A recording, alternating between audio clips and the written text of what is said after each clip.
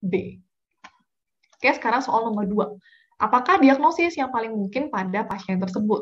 Yang ditanya adalah diagnosis. Ya, anak B nih usia 14 tahun dibawa ke poliklinik dengan keluhan sesak napas sejak dua hari yang lalu. Oke, ada kata-kata memberat dalam dua hari. Berarti dia kondisi yang akut nih, teman-teman. Ya, keluhan disertai dengan batuk berdahak berwarna putih gitu. Keluhan sesak sering dialami pasien 2 sampai 3 kali pada malam hari. Berarti sesaknya bersifat nokturnal. Nah, kira-kira penyakit yang kata kuncinya sesak nokturnal itu penyakit apa? Ayo. Kira-kira DX-nya apa? Oke, dalam seminggu. Ya, jadi 2 sampai 3 kali dalam seminggu. Pasien pernah mengalami keluhan seperti ini pada usia 10 dan 13 tahun. Berarti sering berulang nih, ada kata kunci lagi. Sesak nokturnal yang episodik. Oke. Pasien juga memiliki riwayat rintis alergi dan ayah pasien sering merokok di rumah. Ya, bisa jadi pencetusnya itu si rokok ayahnya ini gitu ya. Jadi si ritis alergi berarti dia ada riwayat atopinya positif. Oke? Pada periksa tanda vital didapatkan heart rate-nya sedikit meningkat gitu ya. Terus RR-nya meningkat nih teman-teman ya, menunjukkan pasiennya mengalami sesak napas. Suhunya masih dalam batas normal, berarti dia nggak demam. Kemudian dari pemeriksaan fisik ditemukan adanya napas cuping hidung dan wheezing. Oke, napas cuping hidung ini berarti pasiennya mengalami sesak yang parah dan ada wheezing, berarti ada sumbatan di saluran nafas bawah. Setelah dilakukan pemeriksaan radiologis, tampak gambaran hipoklusen dan peningkatan corakan bronkofaskular. Oke, apakah kira-kira diagnosis yang paling e, tepat pada pasien ini? Ya, jadi kalau dari sini nih, pasiennya tuh ada riwayat ini sesak nokturnal yang episodik disertai dengan riwayat atopi. Kira-kira diagnosisnya apa? Ayo.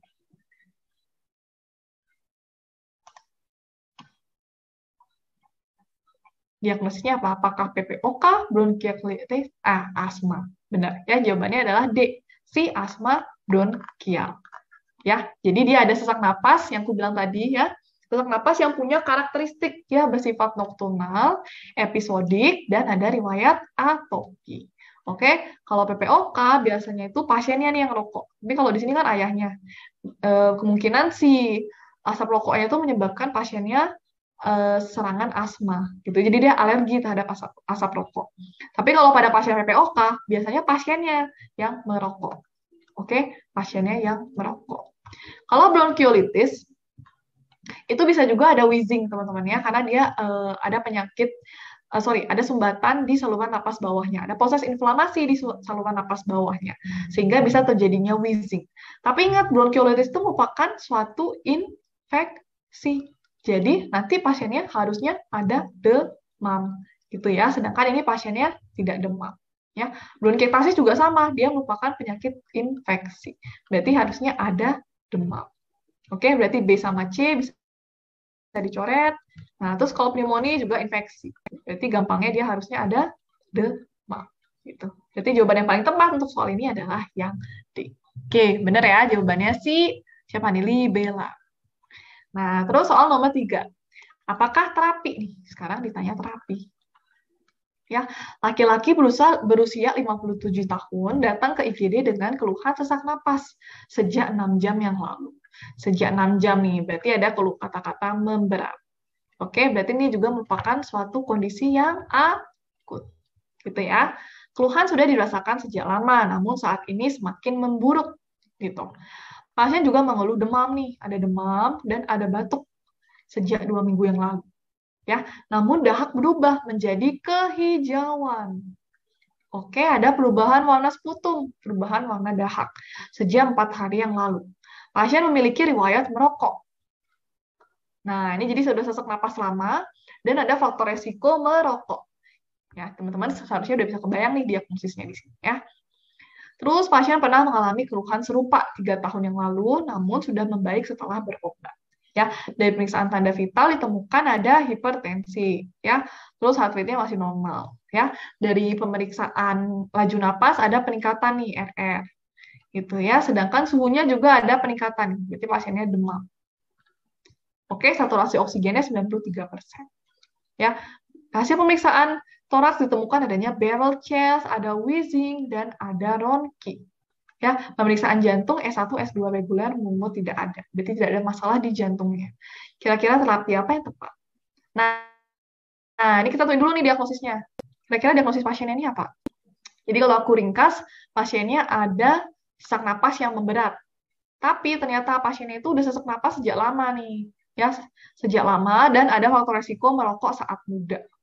Ya, sejak dua minggu yang uh, lalu nih pasiennya demam batuk, terus dalam empat hari uh, batuknya itu kan keluar dahak, dahaknya berubah menjadi kehijauan. Oke, dan dia dari batuk nih, dari batuk doang, tiba-tiba mengalami sesak yang akut 6 jam yang lalu. Berarti kira-kira diagnosisnya adalah PPOK ya, karena ada sesak napas yang lama dan ada faktor resiko merokok. PPOK eksaserbasi, eh, sorry, eksaserbasi akut. Oke, nah sekarang tata laksana. Pasien PPOK eksaserbasi akut. Nah, kira-kira pasien ini termasuk yang mild, itu dulu ya, mild atau yang moderate severe. Gitu ya. Karena kalau yang mild kan dia nggak butuh antibiotik nih teman-teman. Ya, sedangkan yang moderate atau severe dia butuh yang namanya antibiotik. Kalau kita lihat di sini ada keluhan keluhan eh, apa namanya? Eh, perburukannya itu ada dua ya. Jadi memenuhi dua dari tiga gejala perburukan. Yang pertama tuh ada sesak napas. Nih, sesak napas dan ada uh, perubahan warna sputum gitu. Berarti dia masuk ke moderate atau severe yang membutuhkan antibiotik. Nah, sekarang kita lihat nih terapi yang tepat untuk pasien. Ya, yang A gitu ya, bronkodilator pasti perlu. Kortikosteroid perlu nggak? Kortikosteroid itu hanya digunakan kalau sabanya nggak mempan. Oke, jadi sebenarnya kortikosteroid itu alternatif, nggak usah nggak harus dikasih gitu ya. Antibiotik perlu, perlu ya karena pasiennya termasuk yang eksaserbasi moderate or severe. Ya, jadi ini kita hold dulu karena antibiotik uh, kortikosteroidnya masih rancu. Ya, yang B ada analgesik nih. Lihatnya sama, cuman ada analgesik. Analgesik apa yang kita berikan ya pada pasien ini? Ya, berarti yang B bisa dicoret. Oke, yang C antihistamin bukan merupakan obat pada saat eksaserbasi akut pada pasien PPOK. Berarti kita coret juga. Yang D, sel mass inhibitor. Ya, ini kan PPOK ini kan nggak ada hubungannya sama proses uh, alergi. Ya, jadi dia tidak melibatkan sel mass kayak asma. Kalau asma kan ada sel massnya tuh.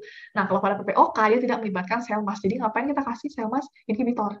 Oke, nah yang kalau yang E kita kasih bronkodilator ya, simptomatik batuk yang kita kasih mukolytik dan yang ketiga kita kasih antibiotik nih juga ya. Berarti sebenarnya jawaban yang paling tepat tuh yang E gitu ya. Pilihannya sekarang antara A atau E teman-teman ya. Cuman ya kalau A itu kortikosteroid itu cuma sebagai alternatif doang. Ya jadi kalau nggak perlu itu nggak. Uh, jadi kalau yang nggak mempan baru dikasih kortikosteroid. Jadi jawaban yang paling tepat adalah yang E.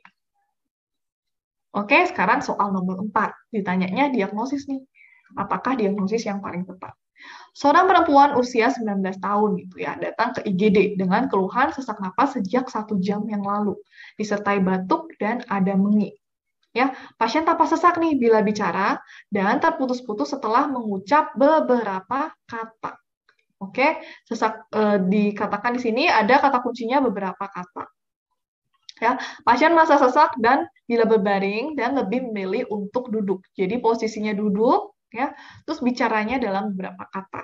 Oke, kata kuncinya di situ. Nah, sekarang sesak seperti ini sudah dirasakan beberapa kali, namun sifatnya hilang timbul. Ya, berarti ada sesak napas yang bersifat episodik gitu. Nah, sekarang pasien terakhir mengalami serangan dua hari yang lalu. Nah, pada pemeriksaan fisik ditemukan adanya tekanan darah masih normal, nadinya normal, ya. RR-nya meningkat nih 32 kali. Berarti pasiennya mengalami sesak napas. Oke, dan suhunya tidak meningkat, 36,7. Dari pemeriksaan dada didapatkan adanya wheezing yang positif. Oke, jadi ada sesak napas disertai dengan wheezing yang bersifat hilang timbul atau episodik. Dari pasiennya kecil, kira-kira di sini dulu DX-nya apa? Ayo teman-teman yang join hari ini, kira-kira DX-nya apa? Di pasien anak perempuan ini?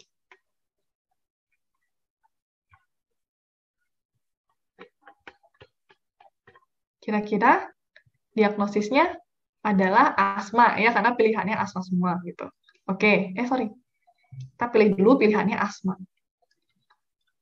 Nah, sekarang kita lihat nih pilihannya dia mau eh, derajat pasien saat serangan, derajat saat serangan, sama derajat saat pasiennya stabil. Oke, kalau dalam serangan, kita lihat nih kata kuncinya, pasiennya lebih milik duduk dan e, berbicara dalam kata-kata. Oke, berarti termasuk pasien derajat serangan yang sedang. Gitu ya. Karena kalau ringan dia harusnya duduk, eh sorry, kalau ringan harusnya tiduran, kalau sedang dia duduk, kalau berat dia duduknya bertopang gitu ya. Sama kalau sedang itu dia masih bisa bicara dalam beberapa kata. Tapi kalau dia berat, dibilangnya berbicara dalam sepatah kata. Hanya satu kata. Gitu. Oke, berarti serangannya sedang nih. Bisa kita coret yang serangan ringan semua. Ya, berarti A, C, dan D salah. Nah, sekarang derajat pada saat pasiennya stabil. Ya, kalau stabil, sekarang kita lihat nih, pasien terakhir mengalami serangan dua hari yang lalu. Misalnya, hari ini hari apa? hari ini Selasa ya. Berarti pasiennya mengalami eh, serangan hari Minggu nih. Oke, apakah dia eh, serangan tiap hari? Bukan, ya. Berarti persisten ringan, eh sorry, persisten sedang bisa kita coret. Ya, persisten berat juga enggak dong ya, karena dia tidak terus-menerus ya, tidak pagi, siang, malam dia mengalami keluhan ya. Jadi cuma hari Selasa sama hari Minggu yang dia mengalami sesak napas, berarti pasiennya masuk ke persisten yang ringan. Jadi jawabannya yang B. Oke, yang ini salah ya. Kalau intermittent itu harusnya eh, dia biasanya seminggu sekali doang nih. Gitu. Ya, jadi misalnya hari Selasa gitu ya, terus minggu depannya hari Selasa lagi. Gitu ya. Kalau ini kan minggu ke Selasa itu masih deket gitu jaraknya ya. Jadi itu yang ngebedain B sama I. Oke? Ya, tadi udah ada yang jawab B ya, berarti jawabannya benar. Kira-kira berarti udah paham nih teman-teman tentang perbedaan derajat serangan asma. Sekarang kita lanjut ke soal berikutnya, nomor 5. Ditanya hasil spirometri nih. Pada hasil spirometri, apa yang membedakan PPOK dan asma? Nah, ini sebenarnya dari soal aja udah bisa kita jawab. Tapi nggak apa-apa, kita coba baca soalnya tahun datang ke IGD dengan keluhan sesak napas sejak dua jam yang lalu. Jadi sesak napas yang akut nih. Sesak tidak berkurang dengan istirahat. Dan ada riwayat merokok. Ya, ada faktor risiko merokok 10 batang per hari. Dari pemeriksaan tanda vital didapatkan tekanan darahnya normal. Ya, heart rate-nya kira-kira normal, masih bagus juga. Ya, RR-nya naik nih, Oke, berarti pasiennya memang sesek, teman-teman. Ya, suhunya juga eh, masih normal ya. Batasnya itu agak tiga tujuh setengah baru kita bilang demam. Oke, pada PMVIS dia khas nih ditemukan adanya barrel chest. Ya, ada selah iga melebar dan ada perkusi hipersonal. Artinya ada penumpukan udara nih di dalam paru pasiennya. Kemudian ada wheezing yang meningkat. Eh, sorry, ada wheezing yang positif. Berarti ada penyempitan saluran napas bawah. Setelah stabil, baru dilakukan pemeriksaan spirometri oleh dokternya dan didiagnosis dengan PPOK. Jadi yang membedakan PPOK dengan asma adalah yang E. Oke, benar ya, Adisti ya. Jadi kayak yang aku bilang tadi, PPOK itu dia irreversible dengan pemberian bronchodilator, sedangkan asma reversible. Ya, jadi PPOK merupakan penyakit paru obstruktif yang irreversible, gitu ya, karena proses inflamasinya itu bersifat merusak atau membunuh sel-sel yang ada di saluran napas kita. Ya, jadi kalau diobati pun fungsi parunya akan tetap jelek. Ya, sedangkan pada asma itu karena dia didasari oleh reaksi hipersensitivitas tipe 1, jadi kalau kita hilangin pencetusnya atau kita kasih obat, nanti pasiennya e, fungsi parunya dilihat dari nilai FEV1-nya itu bisa membaik atau reversible. Oke, gitu ya bedanya PPOK dan asma. Nah, sekarang soal terakhir nih. Kira-kira tata laksana yang tepat untuk mencegah serangan. Ya, Nyonya Ki 27 tahun datang dengan keluhan sesak napas sejak satu jam yang lalu. ya. Pasien sedang hamil nih di trimester kedua dan juga memiliki riwayat asma sejak kecil. Keluhan sesak napas ini telah dirasakan pasien dua kali dalam seminggu. Dua kali dalam seminggu. Setelah dilakukan terapi, ternyata keluhan pasien mereda dan pasien diperbolehkan pulang. Total yang, yang tepat untuk mencegah serangan pada pasien ini adalah kira-kira kalau diminta e, mencegah serangan, berarti dia e, obat golongan apa? Reliever atau controller? Untuk mencegah serangan nih. Kira-kira apa teman-teman? Kira-kira yang diminta pasiennya ini obat pelega atau obat pengontrol? Untuk mencegah serangan. Kontrol benar. Ya jadi kita butuh yang controller. Eh sorry. Controller. Ya nah sekarang controller kita tentuin dulu derajatnya. Apakah dia intermittent persisten ringan persisten sedang atau persisten berat. Oke?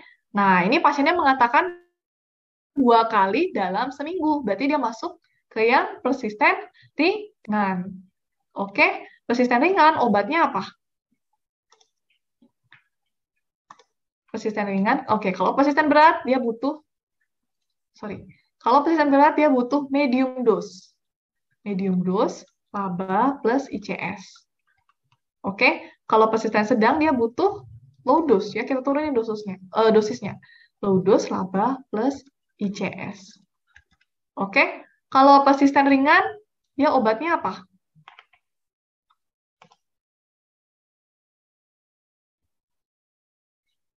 Obatnya mana nih? Coba di chat teman-teman.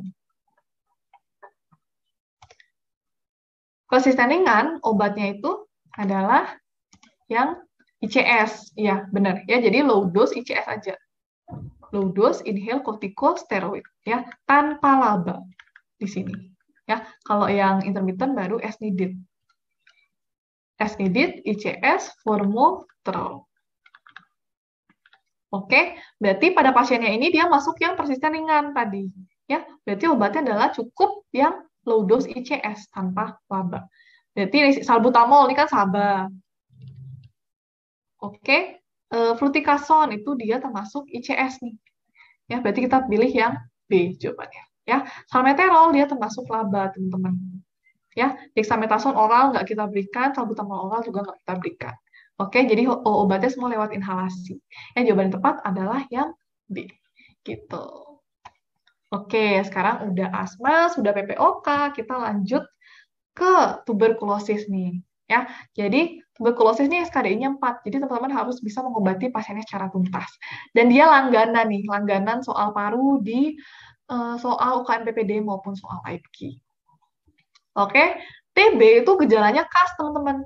Jadi kalau teman-teman ketemu batuk, ya batuk yang kronik. Tadi kronik aku bilang pasti di atas dua minggu.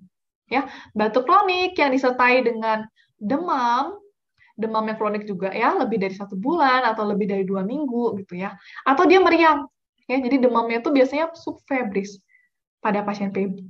Eh, ya, jadi ada batuk, ada demam subfebris, ada berkeringat di malam hari, ya ada penurunan berat badan gitu ya pasiennya tampak lemah atau malais dan khasnya itu adalah batuk darah teman-teman. Oke batuk darah yang udah lama.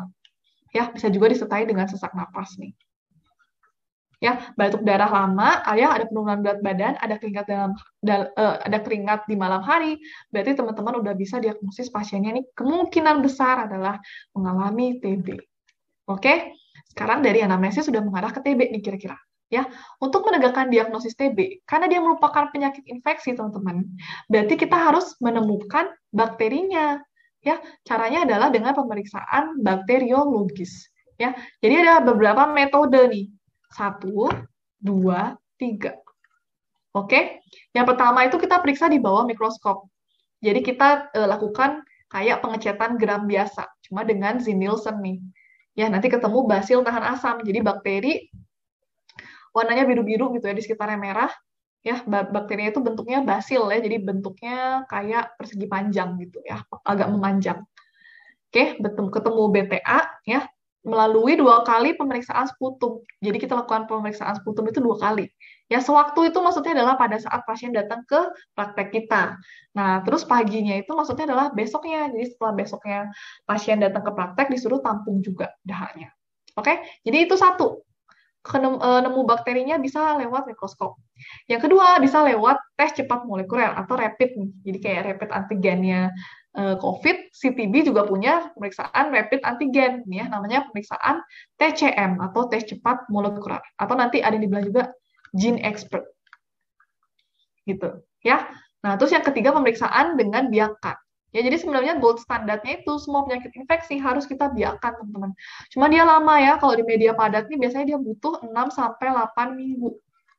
Gitu. Ya, jadi cukup lama sekitar dua bulan. Sedangkan kalau pasien yang nggak kita obatin, ya nunggu hasil nunggu hasil biakan nanti malah makin parah TB-nya. Ya, jadi biasanya dilakukan itu adalah pemeriksaan bakteriologis yang nomor satu dan nomor dua.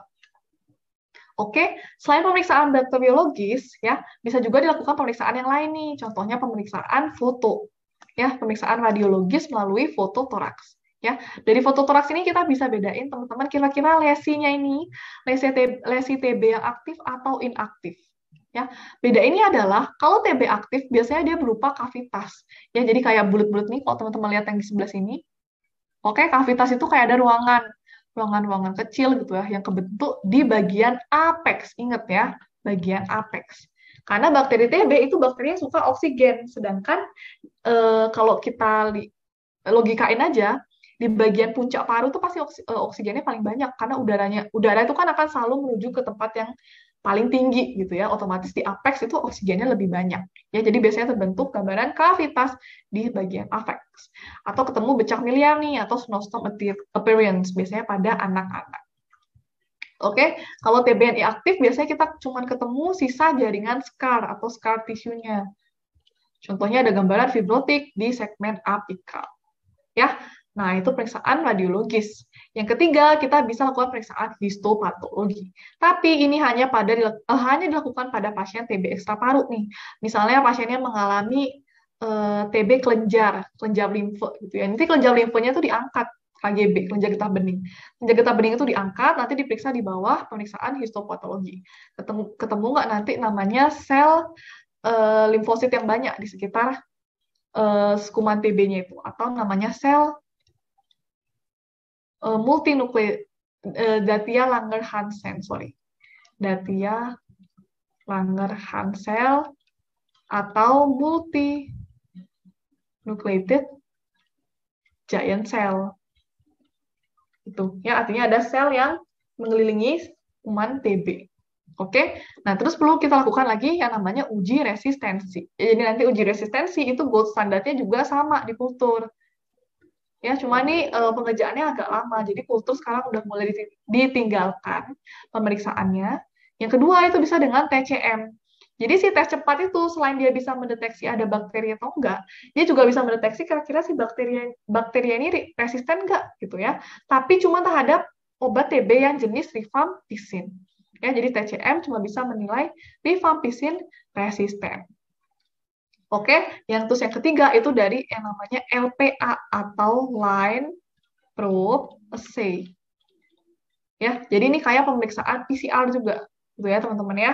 Jadi diperiksa nanti lewat PCR kira-kira si bakterinya TB ini ada atau enggak, dan si bakteri ini e, resisten enggak terhadap jenis-jenis obat TB.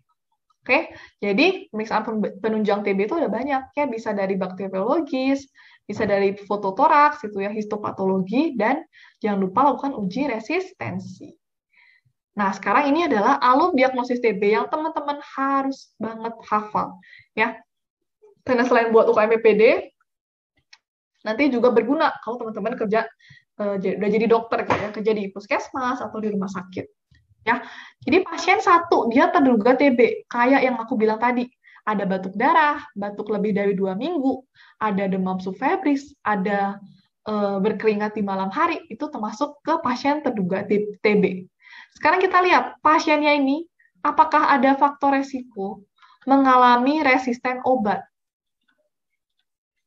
Ya, gimana cara kita tahu dok? Ya, misalnya pasiennya sebelumnya udah pernah minum obat TB, gitu, atau pasiennya pernah kontak nih dengan pasien yang resisten obat pasien TB yang resisten obat.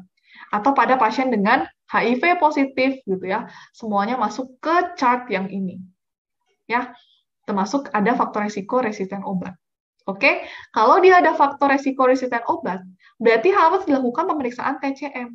Ya, karena ingat tadi pemeriksaan resistensi itu bisa melalui kultur, bisa melalui TCM, atau bisa juga melalui LPA atau line propose. Ya, paling pas adalah kita lakukan pemeriksaan TCM karena selain uh, kita bisa tahu nih diagnosis TB-nya uh, benar atau enggak, kita juga bisa menentukan rifampicin resistennya nih. Oke. Nah, sekarang kalau dari hasil TCM nih, oke ketemu pasien TB nih. En, uh, bakterinya tuh ketemu tuh di bagian sputumnya ya berarti dia termasuk MTB yang positif. Nah, sekarang kita lihat apakah dia sensitif nggak terhadap rifampicin. Artinya bisa nggak sih pasien ini dikasih rifampicin gitu ya. Kalau iya, berarti namanya TB terkonfirmasi secara bakteriologis ya. Secara bakteriologis ini maksudnya kita ketemu nih kuman TB-nya, kita lihat kita lihat langsung kuman TB-nya gitu ya. Kalau sudah terkonfirmasi diagnosisnya, baru kita bisa lakukan mulai pengobatannya, pengobatan TB. Oke, kalau misalnya ternyata negatif nih dari hasil TCM ternyata nggak ketemu nih uh, kuman bak, apa Mycobacterium tuberculosisnya, ya kita nggak boleh langsung percaya nih jangan pasiennya bukan TB gitu ya. Jadi kita harus lakukan pemeriksaan tambahan ya melalui fototoraks atau diberi pasiennya diberikanlah antibiotik selama dua minggu. Tapi antibiotik yang non OAT gitu ya. Kalau dalam dua minggu itu set ini ya. Gimana sih? Nih, jadi kalau misalnya ternyata fototoraksnya mengarah ke suatu TB, atau setelah dikasih antibiotik e, dalam dua minggu, itu pasiennya membaik, gitu ya, berarti dia bukan TB. Kalau dia membaik dengan antibiotik ini. Tapi kalau dia tidak membaik dengan antibiotik ini, berarti pasiennya langsung masuk TB yang terdiagnosis secara klinis. Baru bisa kita mulai pengobatannya. Gitu ya. Jadi aku ulangi sekali lagi, kalau pasien ketemu nih, ketemu pasien, kita periksa sputumnya, ternyata hasil sputumnya negatif, kita jangan gerujuk-gerujuk bilang, oke okay, ini pasien nggak ada TB gitu ya. Harus kita foto toraks dulu atau kita obati. Pilih salah satu, mau foto dulu atau kita obati dulu. Kalau foto ketemu fotonya e, mengarah ke suatu diagnosis TB, berarti dia termasuk TB yang terdiagnosis secara klinis. Bisa kita mulai pengobatannya. Oke gitu. Tapi kalau misalnya kita nggak ada foto toraks misalnya, boleh kita berikan antibiotik tapi bukan golongan OAT. Ya, kalau pasiennya membaik dengan golongan antibiotik itu, berarti dia fix nih, bukan TB. Ya, berarti mungkin penyakit yang lain. Nah, tapi kalau diberikan antibiotik selama dua minggu, ternyata gejalanya nggak sembuh-sembuh, berarti antibiotik yang kita berikan ini nggak tepat dong, gitu ya. Berarti pasiennya ini termasuk yang TB, gitu. Itu untuk TCM. Oke, kalau TCM-nya indeterminate atau tidak dapat ditentukan, maksudnya nih, ketemu nih TB, uh, bakteri bakteri TB ini ketemu gitu ya. Tapi kita nggak tahu dia ini rifampicin resisten atau enggak ya. Kalau hasil indeterminate itu kita periksa ulang sputumnya. Ya, jadi di awal pasiennya walaupun um, melakukan pemeriksaan TCM tetap harus kita lakukan pengambilan dua kali ini sputumnya. Ya, kita periksa saat ini dan satunya lagi kita simpen kalau misalnya hasilnya indeterminate. Oke, kalau ternyata hasilnya dia rifampicin resisten baru harus kita rujuk gitu ya. Nah, itu untuk pasien dengan faktor risiko resisten obat. Gimana dok kalau pasiennya tidak ada faktor risiko resisten obat? Contohnya pada pasien yang baru nih pertama kali diobati gitu ya.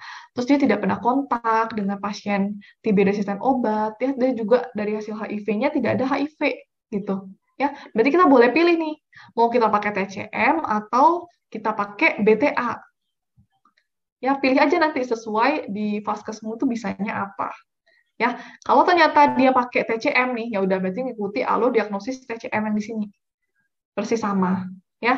Tapi kalau misalnya e, tidak ada TCM berarti terpaksa kita harus lakukan pemeriksaan Zilnissen dengan melihat apakah ada BTA atau basil tahan asap nah ini sputumnya kita ambil dua kali pagi dan sewaktu. Oke? Nanti kita periksa dua-duanya ya. Kalau dua-duanya positif, ya, kalau dua-duanya positif, berarti TB-nya itu terkonfirmasi secara bakteriologis dan harus kita berikan pengobatan langsung. Gitu ya. Nah, tapi gimana kalau hasilnya ada yang negatif, dok? Dua-duanya negatif. hasilnya. Ternyata tidak ada kuman TB-nya gitu. Ya kita juga lagi lagi sekali ya balik ke sini kayak yang MPB negatif jadinya dengan TCM. Ya kita jangan bujuk-bujuk percaya kalau pasien ini nggak punya TB. Ya jadi harus kita berikan uh, terapi antibiotik dulu boleh atau langsung lakukan fototoraks. Ya, kalau gambaran fototoraks yang mendukung arah TB, berarti dia terkonfirmasi secara klinis, ya, karena kita nggak lihat langsung bakterinya. Berarti bukan yang terkonfirmasi secara bakteriologis. Ya, di sini juga boleh kita langsung mulai si pengobatan lini satunya. Gitu ya. Nah, terus kalau fototoraks yang nggak ada, kita lakuin apa dok? Ya udah kita kasih aja nih si pasiennya tuh antibiotik, tapi yang non OAT ya dok, ya lakukan selama dua minggu. Oke, kalau ternyata misalnya uh, ada perbaikan klinis, berarti obatnya cocok dong. Berarti dia bukan TB dong, karena uh, dikasih antibiotik lain aja dia mau sembuh gitu.